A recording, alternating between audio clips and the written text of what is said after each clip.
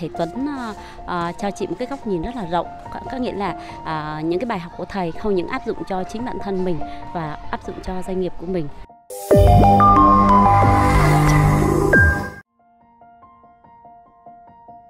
Cái điều chị tâm đắc nhất đó là thầy chia sẻ cái giá trị đó là giá trị về cho mình cái góc nhìn.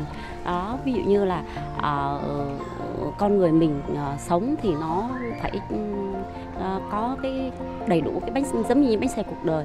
Thì nó là uh, ví dụ như phải cân bằng uh, giữa cuộc sống uh, giữa ờ, uh, báo hiếu cha mẹ uh, doanh nghiệp của mình và gia đình của mình thì làm sao mình phải uh, luôn cân bằng.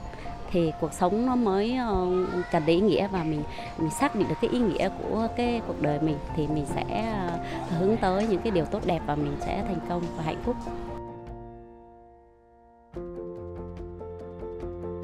Thầy Tuấn uh, uh, cho chị một cái góc nhìn rất là rộng. Có, có nghĩa là uh, những cái bài học của thầy không những áp dụng cho chính bản thân mình và áp dụng cho doanh nghiệp của mình để mình cùng cùng xây dựng cái doanh nghiệp phát triển và cũng như là gia đình mình uh, hạnh phúc.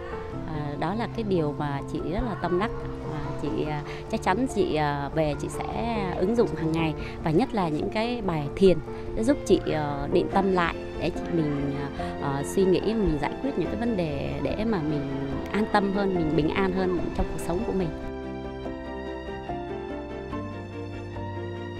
À, qua đây thì à, chị cũng à, xin gửi lời biết ơn đến thầy đã tạo ra một cái khóa học à, vô cùng tuyệt vời đó là chuyển hóa tâm thức.